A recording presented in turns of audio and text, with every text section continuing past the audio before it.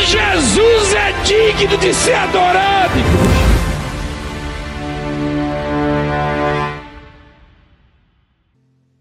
Põe na palavra, por favor. Que livro que é, meu filho? Isaías 66, versículo 1. Assim diz o Senhor: O céu é o meu trono, e a terra o estrado dos meus pés.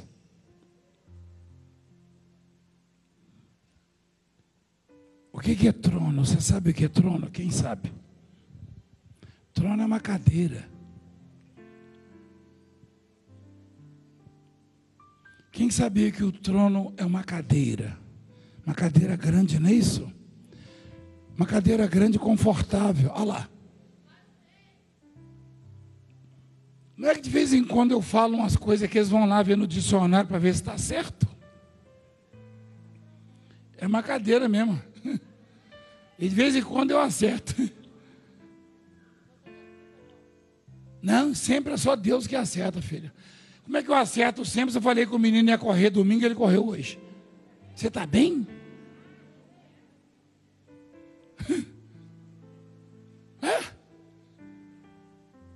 Deus fala, Valdemir está pensando que sabe alguma coisa, vou botar esse moleque para correr. E o moleque caiu, levantou. Eu achei estranho, porque ele caiu e, e nem eu levanto assim, ó. E levantou. Ô oh, doido. O céu é o meu. Quem sabe o que é trono agora? Responda a igreja, por favor. Trono é o quê? Uma cadeira grande, é isso? Cadeira de rei. Cadeira de rei. E Deus está falando que o trono dele é o que mesmo? O céu. O céu é maior que a terra? Hein? Até o sol, até a lua é maior que a terra.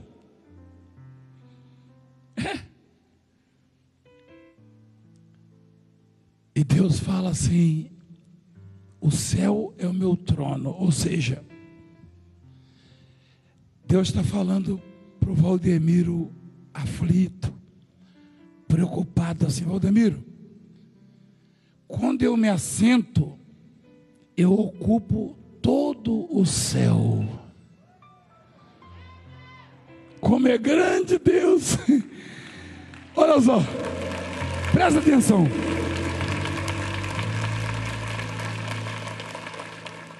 Você quer ver uma coisa? Eu comprei uma cadeira ontem. Fui numa loja comprar uma cadeira. Lá na Rangel. Os funcionários da loja vieram tirar foto e, e pedir bênção e, e na calçada também. Mas eu comprei uma cadeira pequena. Pequena, mas suficiente para mim. Mas eu não, não vou sentar. Isso aí é grande demais. O céu, quando Deus ele senta, ele ocupa todo o céu. Eu não vou conseguir ocupar tudo isso aqui. Eu queria uma cadeira que, que eu conseguisse ocupar. É. Só para mostrar. Deus falou: o céu é o que, igreja? O céu é meu trono. Olha assim. Obrigado. Isso aqui tá bom para mim, está ótimo. Aí. Pronto. Ocupei a cadeira. Do jeito que tem fofoqueiro nesses jornais, aí fala, o homem estava cansado e queria sentar. É verdade. O céu é o meu trono. Traduzindo, o céu é a minha cadeira. Quem tem uma cadeira em casa? Quem tem? Só uma? Você deve ter uma preferida, não tem? Quem tem uma cadeira assim preferida? É. Quando você senta numa cadeira lá na sua casa, cabe mais alguém na cadeira ou ela é para você mesmo? Só para você.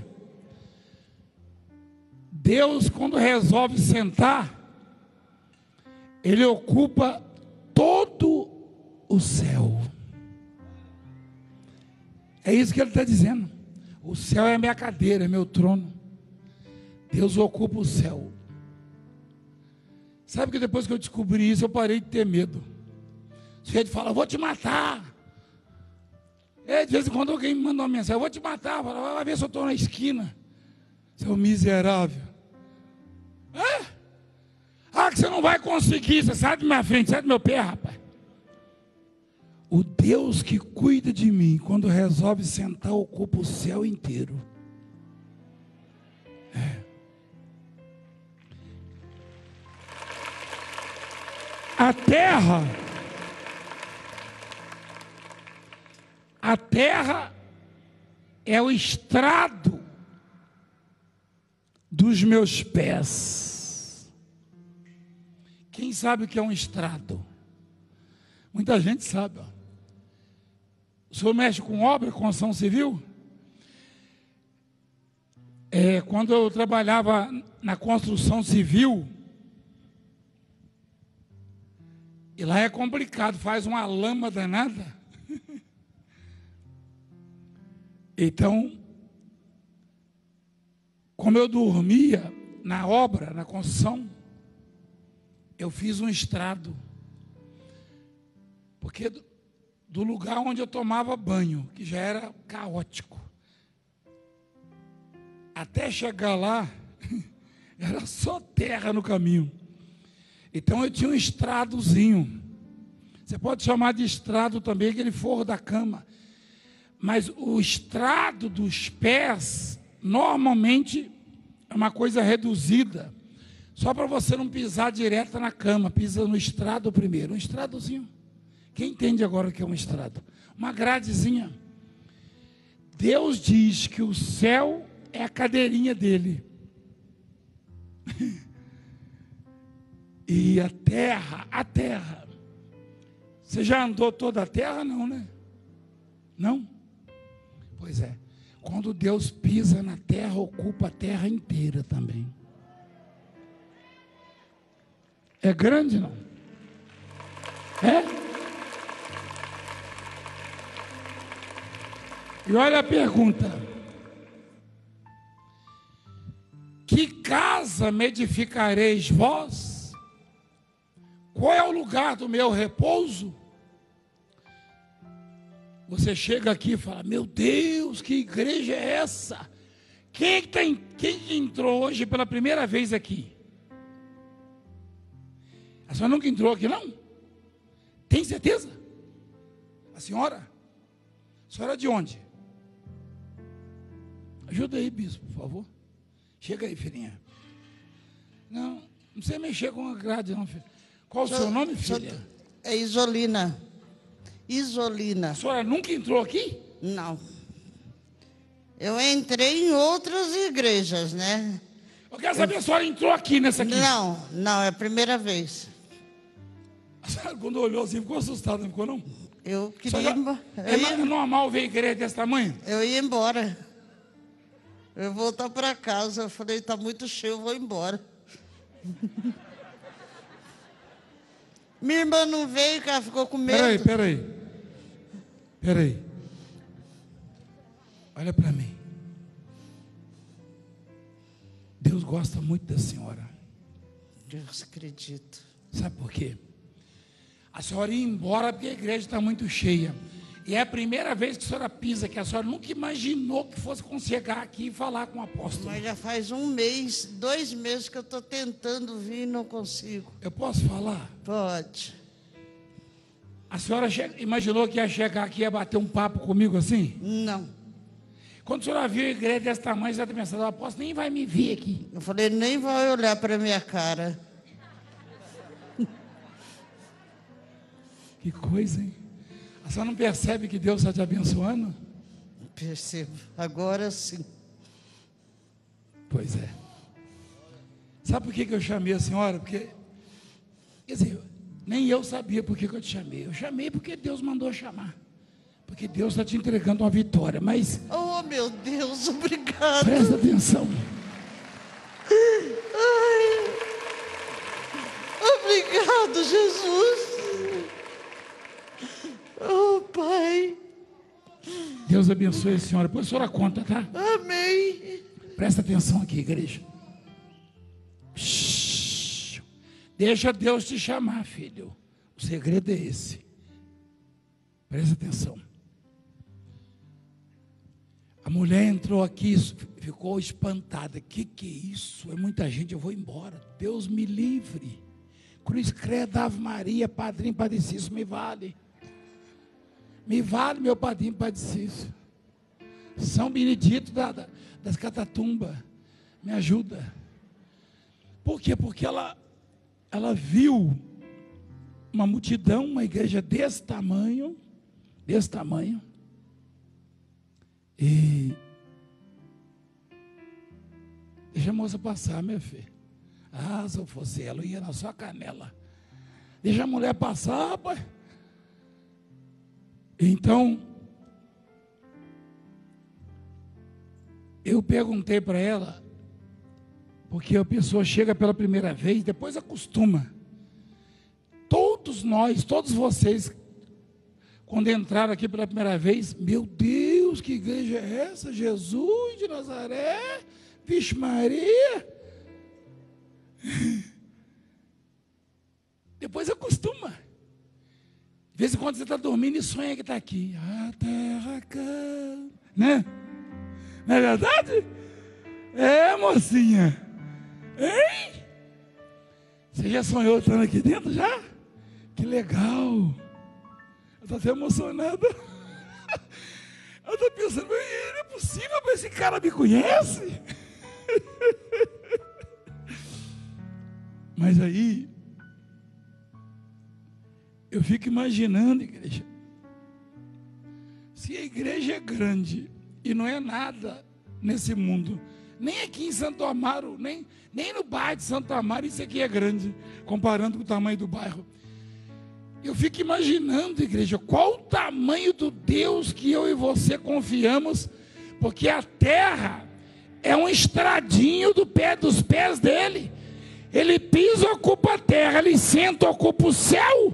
Eu vou ter medo de quê, igreja, na vida? De quê, igreja? Eu vou ter medo de quê?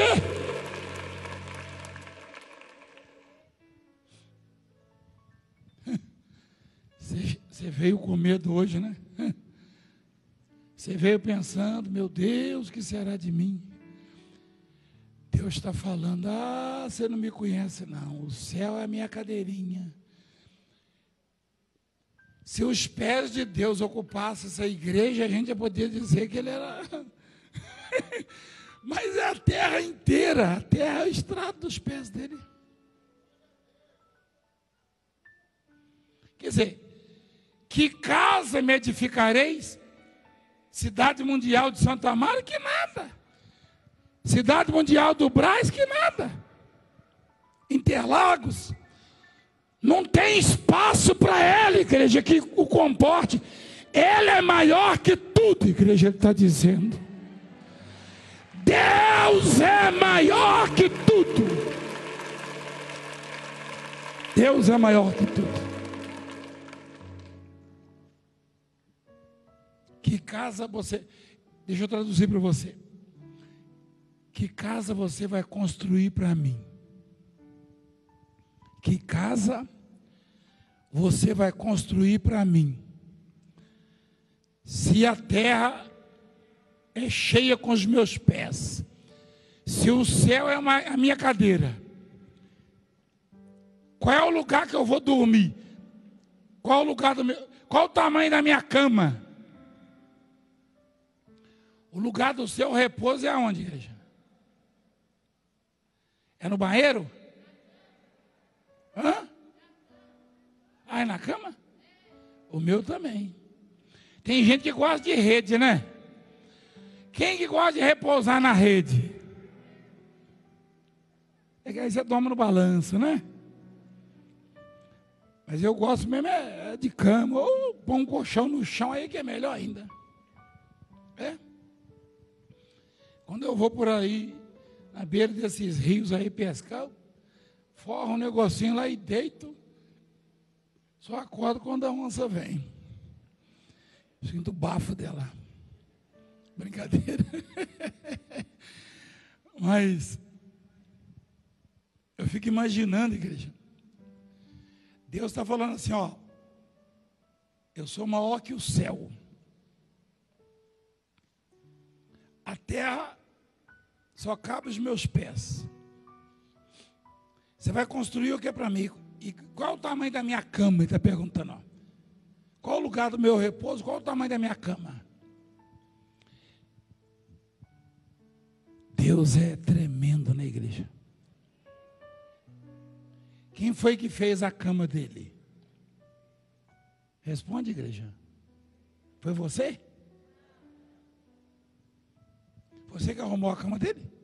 Quem fez? Foi ele. Quem fez o céu? Quem fez a terra? E ele confirma embaixo, ó. Porque a minha mão Espera aí um pouquinho. Repete, fez o quê? Não, você não passa no Enem, não, não pode errar. Ó, porque a minha mão fez o quê? Não é todas as coisas.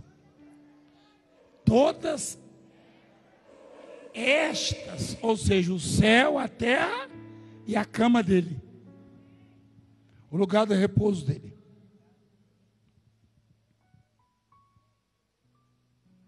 estas, estas específicas que estão sendo mencionadas ali.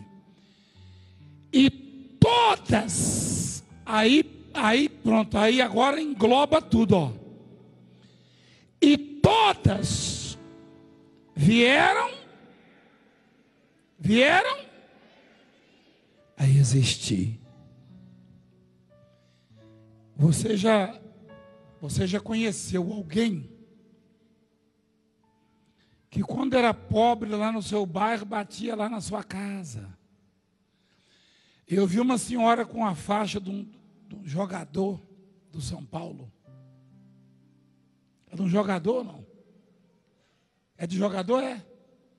De um jovem jogador? Eu estou perguntando, é, ô pastor. É do Fabrício. Jesus, de novo, o mesmo pastor nervoso, ó. Ele é meu neto, pastor. Ele é jogador? É, ele joga no São Paulo. No São Paulo. Ele tem nove anos. Ele está começando, né? Isso. Fala que eu abençoei ele, tá? Tá, pastor. Ele está jogando. Se fosse do Corinthians, eu abençoava também, mas do São Paulo é dobrado a benção. Tá, tá bom, eu falo sim. Glória a Deus. Eu vim buscar hoje eu vou levar a vitória. Fala para ele. Se quiser, em nome do Senhor Jesus. Vê se ele arruma título para São Paulo antes de eu morrer, ainda que eu estou velho já. Tem nove anos. Mas ainda, tá, ainda dá para. Né? Mas ó. Mas o que tem a ver a mensagem com isso aí? Você vai saber. Você vai saber. Pô, tá bom, bispo, já terminou já. Você vai saber. Um senhor chegou para mim e falou assim: Apóstolo, quando tem um jogador famoso, falou o nome do jogador, mas é muito famoso. Esse jogador ganha hoje uns 15 milhões por mês.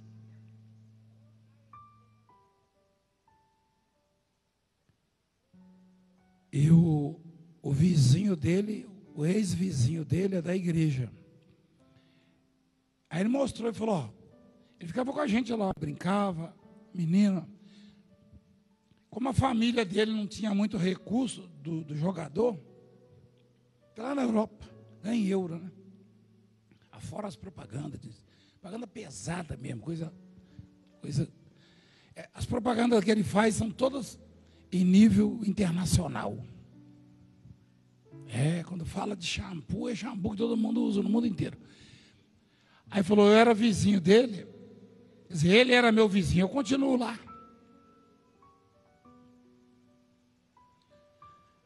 E, e como os pais dele não tinham muito recurso, de vez em quando, quando era pequenininho, ele ia brincar lá de futebol com os meus filhos. E ele batia aqui em casa, ô tio, não tem um arrozinho com feijão, não? E eu dava para ele. Um dia desse eu fiquei tão triste, ele veio aqui no Brasil, estava de férias. E eu chamei ele pelo nome, ele olhou, é, quem é o senhor? E foi andando, eu falei, puxa vida, eu dei tanta comidinha para ele, e aguinha fresca, e refrigerante, junto com meu filho. Ele mudou, falei, mas é, é comum nos homens. É comum.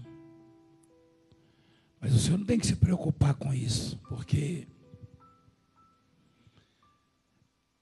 ninguém tem que depender ou, ou se apegar a homens. Não. Eu citei isso aí. O ser cujo céu é a cadeirinha dele, a terra é o estrado dos pés o que fez tudo, tudo, tudo por tudo. Ele diz assim: Mas o homem para quem eu olharei. Esses camaradas aí passam nem olha para as pessoas. O pior é que não é só isso não. Já teve gente que reclamou comigo que e com um sobrinho meu que é porque eu passei num, num shopping com um sobrinho aí o pessoal, apóstolo, outro que estava, Valdemiro, falou, ô oh, rapaz, você tá bom? Porque eu sou lá do mato, né? Então, eu nunca vi o cara, meu cara me cumprimenta, parece que já conheço há muitos anos, entendeu? E aí, rapaz, como é que está a sua família, sua casa? Aí ele falou para meu sobrinho, ele é assim mesmo? Ele falou, é. Ele falou, ah, rapaz, tem uns bispos, uns líderes que passam aqui, a gente cumprimenta. Ele falou, eu nem cumprimento mais, que passa assim, ó. Eu falei, vai ver que te, dormiu mal e está com torcicolo, não é verdade? Aí não dá para virar o pescoço. Me perdoa a expressão, igreja, eu nem almocei ainda. Mas é o sujeito que come sardinha e arrota caviar. eu não sei se, se eu vou lembrar disso, vai me atrapalhar almoçar, entendeu? Rapaz, tem gente que, que não se toca. Nenhum homem é alguma coisa. Todo-Poderoso, o Grande, o Rico, o Santo, ele primeiro dá uma ideia do tamanho, da grandeza dele, dizendo que o céu é a cadeirinha dele, a terra é o estrado dos pés e que as minhas mãos fez todas essas coisas. Mas o homem para quem eu olharei é este: o aflito e abatido de espírito e que treme da minha palavra.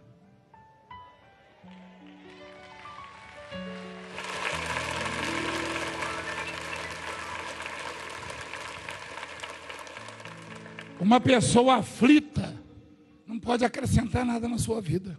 Pode? Mas é para essa que Deus olha. Uma pessoa abatida só vai trazer problemas. Se você senta perto de um aflito, um abatido, é só derrota. Não é verdade?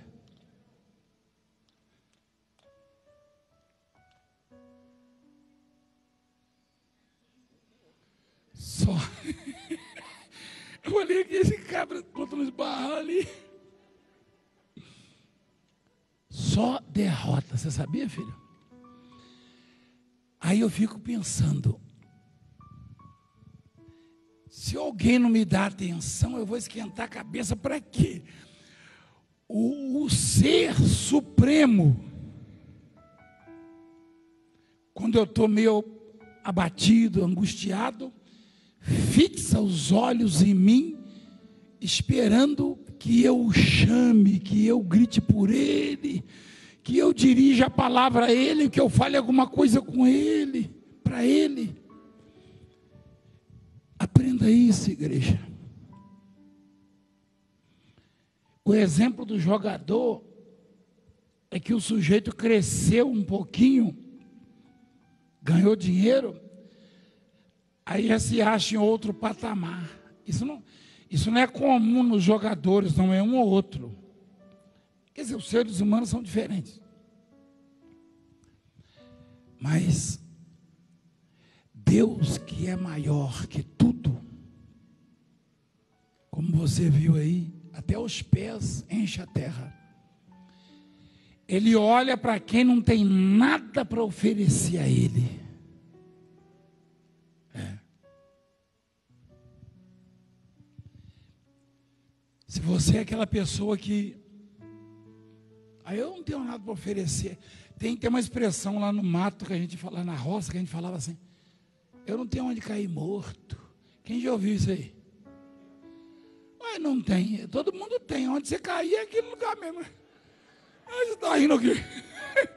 Eu não entendi isso aí. O meu pai falava assim, fulano não tem onde cair morto. Eu tenho. Caiu ali ele mesmo, rapaz. Hein? Lembrei do Januário de Oliveira, está lá um corpo sentido no chão. Mas é por aí, o aflito. O aflito é aquele que que está cheio de problemas. Ninguém, ninguém se aflige à toa. Ninguém se aflige à toa. Quando alguém está aflito é porque está preocupado. Quem concorda comigo? É porque tem problemas, tem dificuldades, tem angústias. Tem alguma coisa dando errado que aflige a pessoa. Pois Deus está dizendo assim, ó. Você está aflito? Eu estou olhando para você.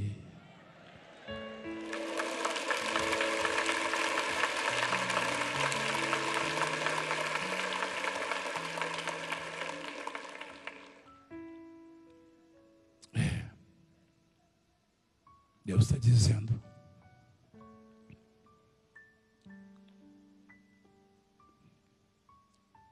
Eu, eu daqui para Tá certo que eu, eu, eu, graças a Deus, eu a distância assim, ó, eu consigo ver o seu rosto. Você já percebeu hoje? Eu consigo ver quem está no último banco lá, o rosto de quem está no último banco lá. Ó. É, você que está cenando com a mãozinha, eu estou vendo você. Você está com a máscara igual a do Bin Laden, mas eu estou vendo. Aquela ficou de pé lá. Lá, lá, lá. Só tu eco aí, meu filho. Lá. Aí, ó, essa aí. Você está a cara do Bin Laden essa distância, mas eu estou vendo. Estou vendo. Mas é aqui dentro. É. Agora Deus, Ele Ele está te vendo hoje e está vendo alguém que está lá na África, lá na Ásia, lá na Oceania Ele não é vendo para ver o sofrimento, ele está vendo para ajudar, para socorrer. Bastando apenas que você chame por ele. Chamar por ele, igreja. Chamar por ele. É, não tem segredo, não tem, não tem estudo bíblico. Não. Ah, vou fazer um curso para milagre. Vou fazer um curso de salvação. Um, um, um líder de uma igreja falou: Ô Valdemiro, lá na sua igreja tem curso de salvação? Eu parei assim, igreja, falei, falei, tem. Eu não demorei muito, não, porque eu não demoro muito para responder. Eu falei, tem. Que dia que é? Eu falei, todo dia. Que legal, rapaz. Eu falei, todo dia. Você mesmo prepara os estudos? Eu falei, não. Foi Deus que preparou para mim. Ah, mas como assim? Eu falei, como é que eu vou preparar estudo? Se o próprio Jesus falou que eu falo, é o meu pai quem prescreve, ou seja, quem prepara. Você conhece a expressão prescrever, você sabe o que é isso, né? Alguém prescreveu para você um texto, alguém escreveu para você, preparou para você, só vai ditar, falar. Se Jesus disse que o Pai prescrevia para ele, imagina para um oreiudo que nem eu. É claro que ele prescreve o que eu vou dizer. Ele ficou olhando para mim. Quanto tempo demora? Eu falei, ah, depende. Uma vez eu vi um estudo de salvação, uma, um curso de salvação que Jesus deu, que deve ter durado assim no máximo um minuto. Você viu um curso? Eu falei, vi. E eu acho que foi o, foi o último curso que ele deu de salvação. Ele estava na cruz. Um fora da lei, um ladrão condenado ao inferno e à morte. Falou: Jesus, lembra de mim quando vieres no teu reino. Jesus olhou assim. Em verdade eu te digo que hoje estarás comigo no paraíso.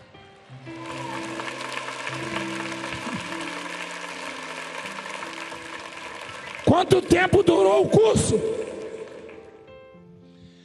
Só que eu sei, hoje em dia está meio difícil uns desses me abordar. Mas antigamente era direto, direto. O sujeito veio com um pacote de livro lá no Brasil, depois eu vi que ele queria vender livro. falei, aqui você não vai vender, não. Aqui não, vai vender lá na Praça da Concórdia. Olha meu pé, rapaz.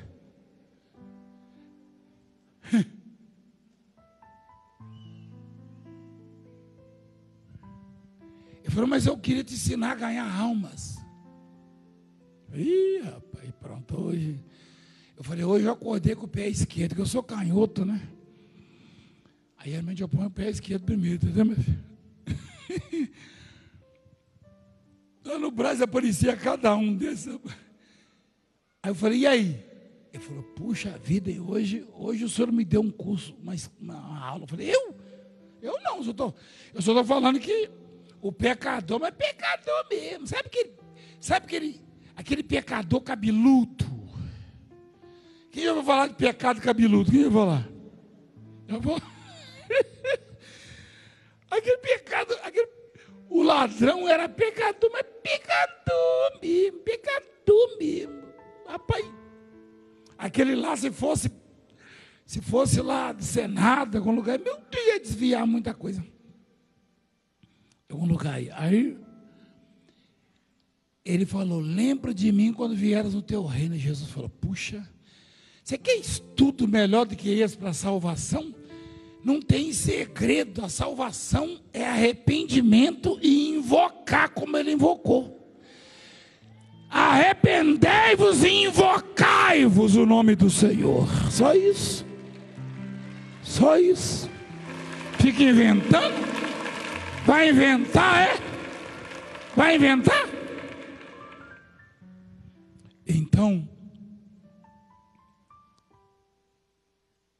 que eu ia embora mais cedo, mas tá gostoso aqui.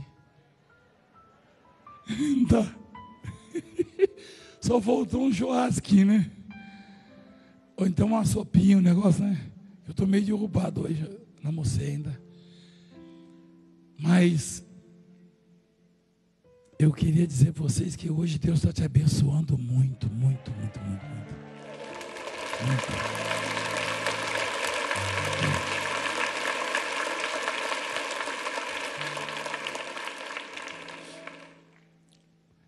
Ele está falando assim, só simplificando, ele está falando, ó, você não está sozinho, você não está abandonado, eu estou olhando para você, ele está dizendo. Eu consegui ver a mulher lá, só que isso aí não resolve nada não. Adianta eu olhar ela lá e ver daqui, eu estou vendo daqui, ó. Ela ficou de pé de novo, senta aí, mulher. Uxi. Mas isso aí não resolve não. Você vai resultar em quê? Agora Deus está vendo ela, Deus. Só que os olhos de Deus estão mesmo em cima de quem está preocupado, de quem está aflito. Ele que falou lá, aflito e abatido. A gente sai de perto quando tem alguém, quando tem alguém muito enjoado, muito aflito, cheio de problema. Meu Deus, fulano tá, tá azedo. Eu já ouvi gente falar assim, ó. Valdemir hoje está azedo. Mas você olhou para a bispo por quê? Nela não. Eu, hein? Por que você olhou para ela? Você acha que ela que falou isso aí? Ela já falou já também. a mulher olhou para ela. Ela já falou, filho, mas teve mais pessoas que falaram, entendeu? Ela olhou para a bispa.